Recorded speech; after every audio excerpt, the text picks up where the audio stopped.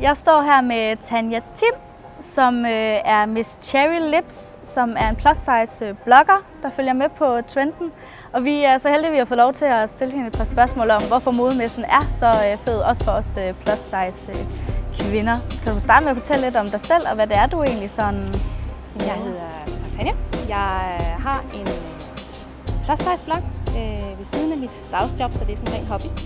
Jeg er 35 år, så er jeg sådan lidt, øh, lidt blandet også med hensyn til mine øh, ven, jeg sådan har som læser og sådan noget. Jeg har øh, min blog mest fordi, at øh, jeg startede, jeg startede 6-7 år siden, tror jeg. Mit sådan, formål var netop for at vise kvinderne i Danmark, at øh, de skal altså ikke tro, at de kan gå rundt og skal have laner på, eller handle i Føtex og Bilka og sådan nogle ting.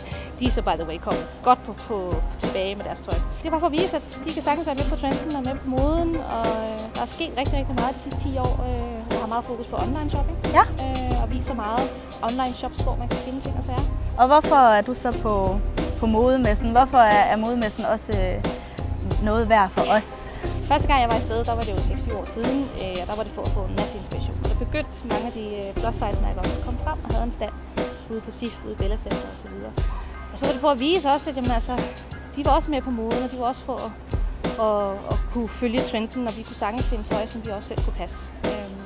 Og så er det også for at blive inspireret. Altså, hvis der er mange af de meget større brands, der har en masse farver, der går igen, så er det jo rart at se, hvor man kan finde og søge online, for eksempel efter de samme farver i noget, man selv kan passe. Ikke? Så du er både ude og kigge på den egentlige trend, og så også øh, de plus size øh, brands, der nu er derude. Ja, og nu er der jo rigtig mange plus size brands ude på, på Copenhagen Fashion. Ja. Øh, Og det er jo rart at se, at de har store stande, og de er med på moden, de har masser af lækre styles, og de ved lige, hvad der skal til, og de er også ude i udlandet og bliver inspireret i Asien og USA, mange af dem, og finder lækre materialer. Altså, de er lige så meget på, lige som andre mærker. Der er slet ikke nogen forskel. Ja, de fylder rigtig meget derude også i, Yes. i år. Ja, Det er, det er super Og fedt. nogle af brandsene har endda kollektioner, der er fra 36 til 56. Det var dejligt, at jeg lige måtte stille dig et par spørgsmål, så, øh, så vi også kunne høre, hvorfor det er, at Fashion Week er, er noget værd for, for alle størrelser. Er dejligt. Det er dejligt.